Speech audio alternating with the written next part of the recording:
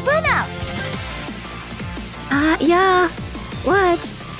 Wanna watch me do a flip? What? Uh, Pro Rocket, I don't have time for you.